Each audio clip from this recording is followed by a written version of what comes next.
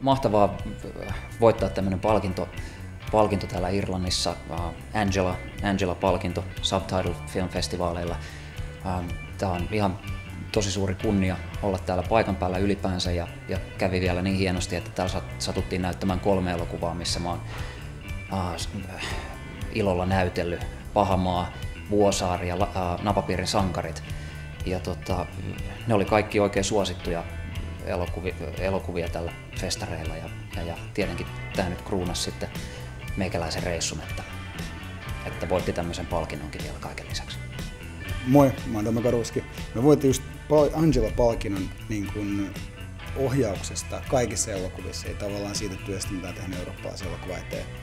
Ja, ja se, että ollaan Kilkenissä pienellä paikkunalla, jossa ihmiset, tota, niin, niin, niin täällä on niin kuin tosi kotoinen tunnelma ja se on aika hieno tunne se, että ää, annetaan palkinto siitä, että joku on ka- katsonut kaikkia sun elokuvia ja seurannut sua ja ajattelee, että sä ansaitset tästä niin kuin muiston niin, niin musta se on fantastinen ja mielenkiintoinen tunne. Irlanti on ihan loistava paikka, kannattaa tulla tänne. Tämä on ihan todellakin matkailumainos.